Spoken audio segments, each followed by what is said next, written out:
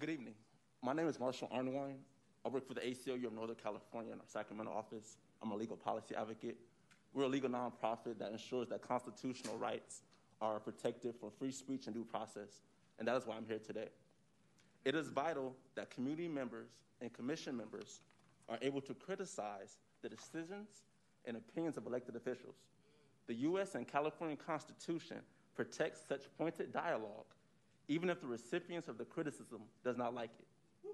Prohibiting public comments that a council member might construe as a personal attack constitutes the type of criticism that courts have found to violate the First Amendment.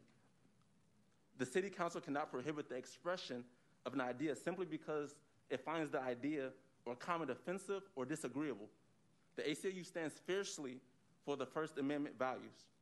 From a procedural aspect, it is also important to note that this council is bound by removal procedures set forth under Sacramento City's charter at Article 15, Section 232, that applies to commissioners.